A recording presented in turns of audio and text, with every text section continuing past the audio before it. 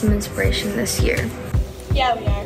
So every week, the Shamrock News will be presenting our Clover quote of the week.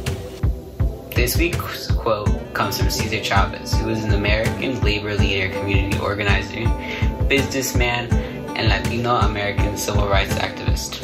Cesar Chavez once said, You are never strong enough that you don't need help. And we want to remind ourselves that it's okay to ask for help. So whether you need help finding a book to read,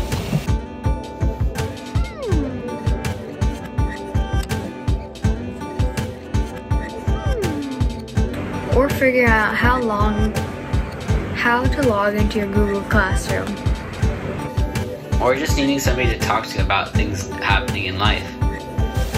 everybody needs to ask for help at some point, so don't feel bad if you're asking for help right now.